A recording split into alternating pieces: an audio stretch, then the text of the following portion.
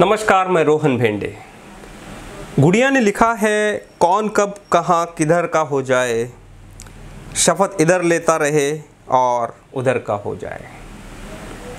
गहलोत और सचिन पायलट। तीन दिन से चार दिन से विवाद चल रहा है राजस्थान में। इशू क्या है? सचिन पायलट कुछ नाराज़ चल रहे हैं और उनके नाराज़गी की जो वजह है वो क्या है तो उनको चीफ मिनिस्टर बनना है। अभी उनके पास पोस्ट है डिप्यूटी चीफ मिनिस्टर का। लेकिन मसला इतना ही नहीं है, इस घटना में भारतीय जनता पार्टी भी लिप्त दिख रही है। ऐसी ही एक घटना चार महीने पहले हुई मध्य प्रदेश में। मध्य प्रदेश में कांग्रेस की सरकार थी। कांग्रेस के सरकार में जो बड़े कद के नेता थे, ज्योतिरादित्य सिंधिया, उन्होंने रिबेल किया और बीजेपी में चले गए। साथ में बीस, बाईस एम पी एम भी लेके चले गए। अब घटना यह हुई कि उस समय चर्चा ये थी कि हर एमएलए को 20 से 25 करोड़ रुपए बीजेपी ने ऑफ़र किए और दिए। बात मैं जो कह रहा हूँ, मैं बहुत सिंसियरली कह रहा हूँ। उसके बाद सरकार गिर गई भारतीय जनता पक्ष की दोबारा सरकार बनी सिंधिया गुट के जितने भी नेता थे उनको जिनके जितने भी एमएलए थे उनको मंत्री पद का मंत्री पद से नवाजा भी गया और बा, बात ये भी चल रही है खबर आ रही है सूत्रों के हवाले से कि वहाँ पे जो अभी री इलेक्शन होगा इन्हीं सीटों पर तो इन सबको टिकट भी दी जाएगी। अब चार ही महीने के बाद दूसरी घटना में हम आ रहे हैं जो पिछले तीन दिन से मीडिया में छाई है। वो है सचिन पायलट का कुछ अनबन पैदा होना और उसी चक्कर में कांग्रेस की सरकार गिरती दिखना, वहीं पे। अब तीन पहलू होंगे। कल गहलोत सरकार की बैठक थी मंत्री उनके जो एमएलए थे उनकी। आज भी है शायद। इसके बारे में सोर्सेस ये भी कह रहे हैं कि कल सचिन पायलट के भी घर पे बैठक हुई और वहाँ पे भी 16-17 एमएलए अवेलेबल थे। एक और खबर आ रही है सूत्रों के हवाले से। पहले ये आ रही थी कि प्रियंका गांधी इसमें इंटरवीन करेगी और सचिन पायलट और राहुल गहलोत का जो मनमुटाव चल रहा है उसको मिलाप करेगी। शाम होते होते सूत्रों के हवाले से खबर दी ये दी गई कि यह नहीं होगा। अब सचिन पायलट को आ, कोई एंटरटेन नहीं करेगा। सचिन पायलट जो डिसाइड करेंगे वो देखा जाएगा। ये सारी घटनाएँ चल ही रही है। मीडिया में तीन दिनों से ये सारी चीज़ें चल रही है। मेरा सवाल ये नहीं है, या फिर मैं इन, इस पर ध्यान भी नहीं देना चाहता हूँ कि सचिन पायलट कहाँ जाएँगे, गहलोत की सरकार बचेगी कि नहीं बचेगी, और आगे क्या होगा, राज्यपाल अगर गहलोत को एमएलए कम होते हैं, उनका नंबर्स कम आता है तो क्या वहाँ पे गवर्नर रूल लगेगा गवर्नर रूल लगेगा, या फिर सिंधिया सॉरी पायलट जो है वो बीजेपी में जाएँगे? मेरे सवाल ये नहीं है। सबसे पहला सवाल तो यह है कि क्या लोकतंत्र बचा रहेगा? चुनी हुई सरकारों को खरीद फरोख करना और उसको गिराना, ये कोई बीजेपी का पहला खेल नहीं है। बीजेपी ये करते आई है और ये जो हमारे इंडियन पॉलिटिक्स को, हमारे भारतीय लोकतंत्र को ये जो कीड़ लगी है, ये एक्चुअली इंदिरा गांधी की पैदाइश है। इंदिरा गांधी ने ऐसे ही चुनी हुई सरकारों को बर्खास्त किया था और वहाँ पे गवर्नर रूल लगाया था। तब से अब तक बदलाव कुछ नहीं हुआ है। सवाल यह बनता है कि चुने हुए नेता उनके खरीदने की खबर आती है कि इस एमएलए को इस पार्टी ने इतने रुपए ऑफ़र किए। जैसे किसी बैल को बैल बाज़ार में लेके हम खरीदते हैं या बेचते हैं, इस प्रकार से जनरलाइज खबरें आ रही है कि एमएलए को 25 करोड़ ऑफ़र हुआ 20 करोड़ ऑफ़र हुआ। हम कितने सीरियस है इस क्वेश्चन को लेके कि हमारे एमएलए बिक रहे हैं, हमारा लोकतंत्र बिक रहा है। नागरिक के हैसियत में हम क्या इस सवाल को देखेंगे या फिर यह देखेंगे कि बीजेपी कर रही है तो बीजेपी के पक्ष के जो आ, लोग हैं वो वो उसको देखें शांति से सह लेंगे। और जो कांग्रेस के रूल में ये होगा तो कांग्रेस के सपोर्टर सह लेंगे। लोकतंत्र में भूमिकाएँ जो होती है वो नागरिक की होती है। लोकतंत्र का भौंडापन जो है वो नागरिक से ही तय होता है। नागरिक अपने अधिकारों के प्रति और अपने कर्तव्यों के प्रति कितने जागरूक है, इससे तो डिसाइड होगा ना लोकतंत्र। अब किसी एमएलए को खरीदने की खबर आ रही है और वो टीवी पे कंटिन्यूस चल रही है और फिर भी समाज में ऐसी एक शांत स्थित प्रज्ञ भावना है, जैसे मानो कुछ हुआ ही नहीं है। किसी एमएलए को खरीदना मतलब यह हुआ कि आपने जो वोट उस एमएलए को दिया था क्योंकि अब देखिए चुना हुआ जो नेता है वो कैसे होगा? चुन के जाएगा तो मेरा आपका वोट उसको होगा।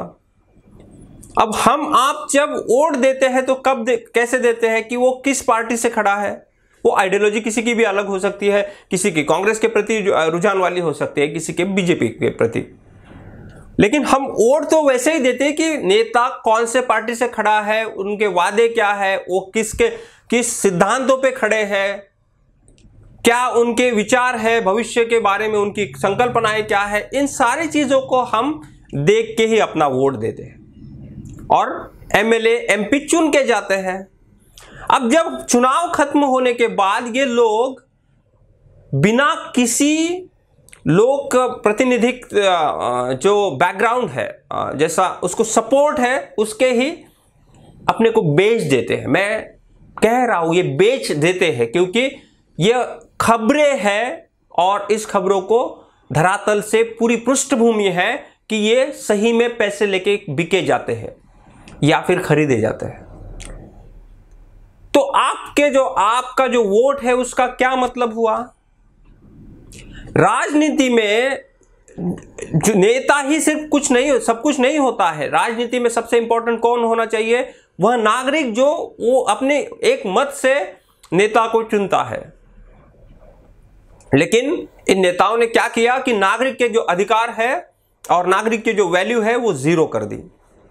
इससे यह हुआ कि अब नेता खुला खेल फरुखाबादी जैसे व्यवहार कर रहे हैं।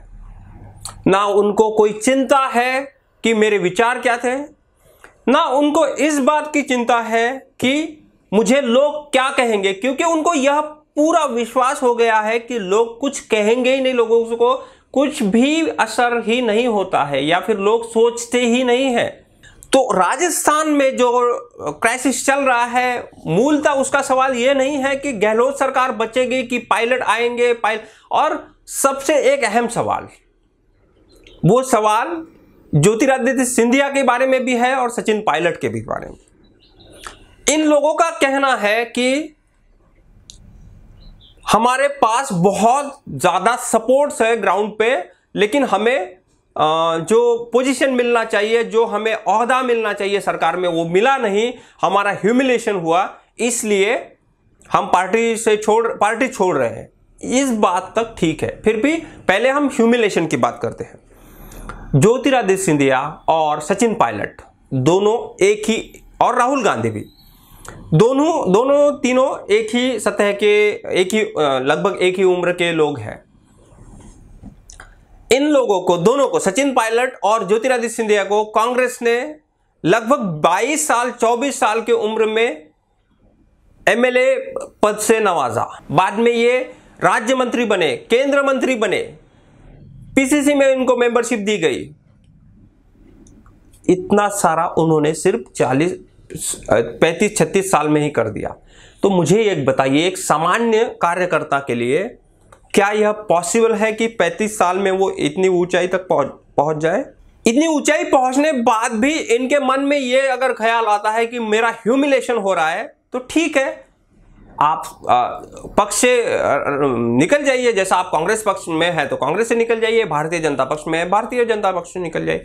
और अपना खुद का साम्राज्य खड़ा कीजिए। मैं साम्राज्य इस वर्ड का इसलिए यूज़ कर रहा हूँ क्योंकि मुझे पता है कि हमारे लोकतंत्र की जो बुनियाद है, वो वैसी नहीं है जैसी हमारे संविधान निर्माताओं ने सोची थी। ये साम्राज्य जैसा ही चल रहा है, अभी भी चल रहा है, उसमें कोई आँख मून के बात करने की ज़रूरत ही नहीं है। अगर इनके पास इतना बैकअप है, ये ये अगर कह रहे हैं कि हमारे पास लोगों का सपोर्ट है तो आप खड़ा रहिए। शरद पवार ने क्या किया था? ममता बनर्जी ने क्या किया था? वाई एस जगन ने क्या किया था? उन्होंने, वो कांग्रेस से तो निकल गए, लेकिन अपनी जो आइडियोलॉजी है, उसे कॉम्प्रोमाइज नहीं किया और अपने अपने पार्टीज़ खड़ी की। शरद पवार खुद खड़े रहे, ममता बनर्जी खुद खड़ी रही, वाई एस जगन खुद खड़े रहे।